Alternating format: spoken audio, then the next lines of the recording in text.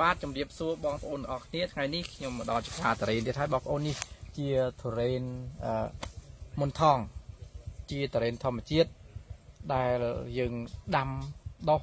ដោយមិនប្រើសារធាតុគីមី មានតែយើងប្រើតាមរបៀបធម្មជាតិរបស់យើងហើយទុរេនរបស់យើងនេះគឺមានថាឆ្ងាញ់ស្អិតល្មួតតែម្ដងហើយបងប្អូន1គីឡូ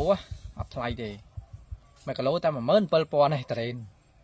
គឺតរេនមុនថងរបស់យើងគឺផ្លែធម្មជាតិតែម្ដងបងប្អូនអាចបានមកទស្សនាបានទេបងប្អូននេះមកតរេនមុនថងរបស់យើងគឺផ្លែធម្មជាតិបងប្អូននេះយើងបេះអឺដើមម្ដៅចិត្តអស់ហើយបងប្អូនហើយ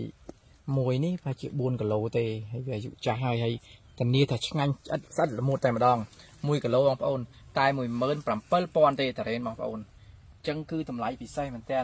អឺយើងបានទិញពីម្ចាស់ ចំការផ្ទាល់តែម្ដងហើយនេះជាចការរបស់យើងដែលយើងអឺ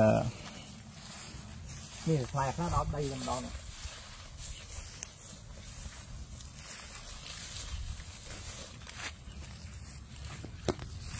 បងប្អូននេះផ្លែខ្លះផ្លែយកដល់ដីតែម្ដង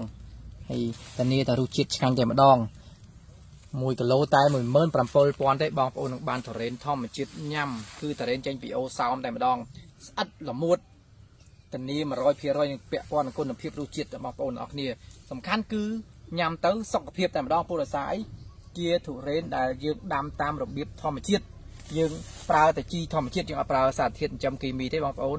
បាទសូមអរគុណបងប្អូនអរគ្នាសាកលវិទ្យាល័យអាស៊ីអឺរ៉ុបជំរឿនល្អបំផុតសម្រាប់ឱកាសការងារ